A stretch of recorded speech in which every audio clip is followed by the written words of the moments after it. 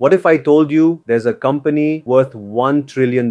Sounds crazy, right? Let me break that down for you. $1 trillion equals 83 lakh crore rupees. That's more than the entire annual budget of India. And guess what this company sells? They don't make phones or cars or apps. They make just one thing chips, not the ones you eat. I'm talking about semiconductor chips, the tiny little circuits that act like the brain of every smart device your smartphone, laptop, smart TV, car, washing machine. All of them run on chips. And the world's most powerful chip maker, TSMC, Taiwan Semiconductor Manufacturing Company. Most companies design chips, but only a few can actually manufacture them at scale. TSMC is the factory behind the tech revolution. Apple, Nvidia, AMD, Qualcomm, they all depend on TSMC. You know what's crazy? One small disruption in TSMC's production can affect the global economy. Cars can't be made, iPhones get delayed, AI slows down. That's how important this company is, and yet 90% of people have never heard of them, but now you have. Follow us for more powerful stories like this.